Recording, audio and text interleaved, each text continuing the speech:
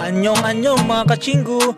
Welcome na naman po sa isa nating cooking video and today gagawa po tayo ng bibingka or Philippine rice cake. So kakaigba po ang ating bibingka for today kasi gagamit tayo ng air fryer.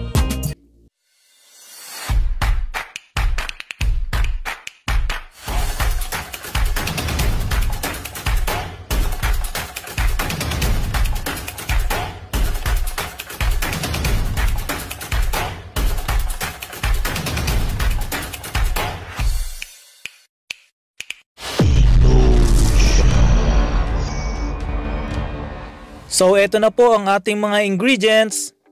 Gagamit po tayo ng 100 grams of rice flour or 1 cup of rice flour. And then kailangan din natin ng 200 grams of sugar or 1 cup of sugar. And then gagamit po ako ng coconut powder na 2 pack or 100 grams of coconut powder. So instead na coconut milk ang gagamitin natin since mahirap siyang hanapin sa abroad at most common itong powder, so gagamit po tayo ng powder na coconut. And then kailangan din natin ng 5 tablespoon of butter or 71 grams of butter. So kailangan medyo creamy na siya at medyo tunaw na. And then gagamit din tayo ng 2 and 1 half ng baking powder na teaspoon.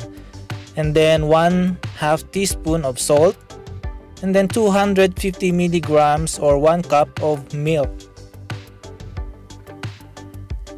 And then gag gagamit din tayo ng 3 eggs.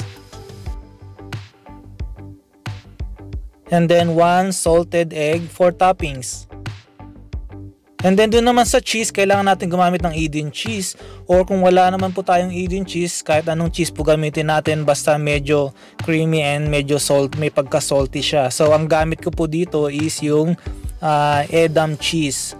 So may pagkakahawig siya sa ating Eden cheese sa Pilipinas. So ito po yung gagamitin natin since mahirap makahanap ng Eden cheese abroad. And then kailangan din po natin ng banana leaves. So itong banana leaves na to, sinalang ko na siya sa apoy.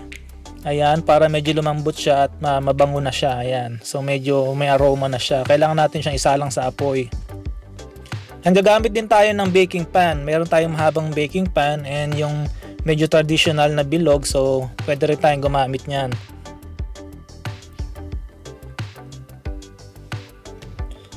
Okay so let's start. Una unahin muna natin yung butter Ayan, medyo i-cream-cream natin yung butter kasi medyo tunaw na yan. Importante yung cream siya, hindi siya yung tunaw na tunaw. And then, next natin yung ating sugar. So, mix-mix lang natin yan. Uh, hindi natin kailangan gumamit ng whisk. So, uh, spatula lang ang ating gagamitin. So, napakadali lang pong gawin. And then, ilagay na po natin yung ating tatlong itlog. So, haluin lang natin mabuti Ayan, so mix-mix lang siya natin hanggang sa uh, well blend na siya at uh, uh, maganda na yung pagkakahalo natin. So tuloy-tuloy lang. And then ilagay na natin yung ating asin. So and then next na natin yung ating uh, gatas or yung ating milk. So keep on mixing lang.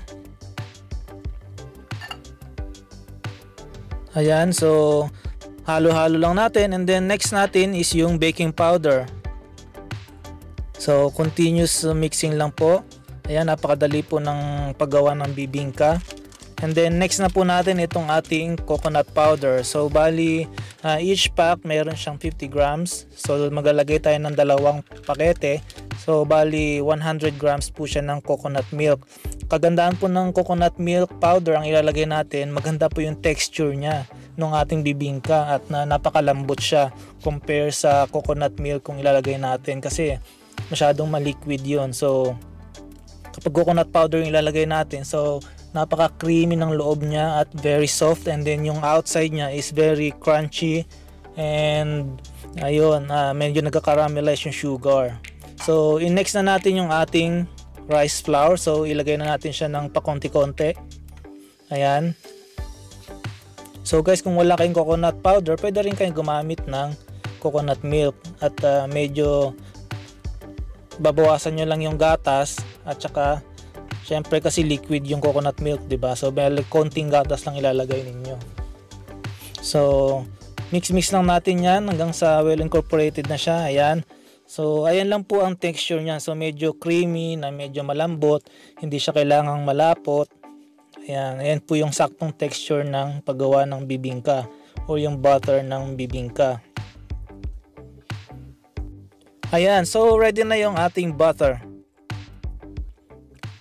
So i-prepare na natin yung ating banana leaves at saka yung ating pan. So mga guys, importanteng i-toast muna natin sa apoy or medyo sunog-sunugin natin yung ating banana leaves para lumambot siya at lumabas yung aroma niya. So bali, isalang lang natin siya sa kalan, padampi-dampian lang natin ng apoy at lalambot na yan at magiging mabango na, lalabas na yung amoy ng ating banana leaves. Ayan, so ilagay na natin yung ating mixture. So ilagay lang natin siya hanggang kalahati kasi medyo aalsa pa yan. So sa recipe natin na to, bali makakagawa tayo ng tatlong pan na malalaki. Yan, kung maliliit naman yung ating pan, uh, medyo marami tayo magagawa. So mga parang mga cupcake size, mga ganon. So pwede rin naman itong medyo malalaki. So i-preheat na natin yung ating air fryer sa 150 degrees. Ayan. So bago natin isalang kailangan naka-preheat na siya or mainit na yung ating air fryer.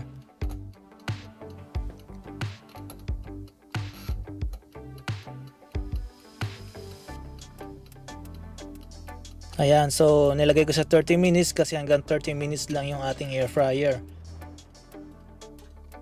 So, i-bake na natin 150 degrees Celsius. So, uh, depende po yan kung anong gamit ninyong air fryer. May mayroong mas mas mainit. So, i-adjust adjust na lang basta between 150 siya ganon. And lalagay na natin siya yung ating toppings after ng 15 minutes. Tanggalin natin siya sa air fryer at ilagay natin yung ating toppings na cheese at yung ating salted egg. And then iluto natin siya or i-bake natin siya for another 15 minutes. And then, ito na po, resulta. Ready na yung ating bibingka. So, makita nyo, medyo crispy outside yan. Pero ang loob niya, napaka-creamy at napakalambot. And then mga guys, thank you very much for watching this video. And I hope may natutunan na naman kayo for today. And I suggest na i-try nyo tong bibingka kasi magpapasko na, 'di ba? So miss na miss na natin kumain ng bibingka. Ayan, so kahit po tayo nasa abroad, makagawa po tayo ng bibingkang masarap. So ayan guys, once again, if you like this video, please hit the like button. And if you are new to my channel, please consider to subscribe and click the notification bell for you to be updated every time I have this kind of video, cooking video, cooking tips. So, anyong mga guys and see you next time and Merry Christmas!